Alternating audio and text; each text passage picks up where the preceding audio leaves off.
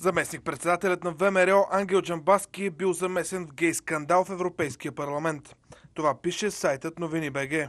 Припомняме ви, че още в предишния мандат на Европарламента колегата на Ангел Джамбаски Николай Бареков призова заместник-председателя на ВМРО да каже каква е сексуалната му ориентация и го попита следното.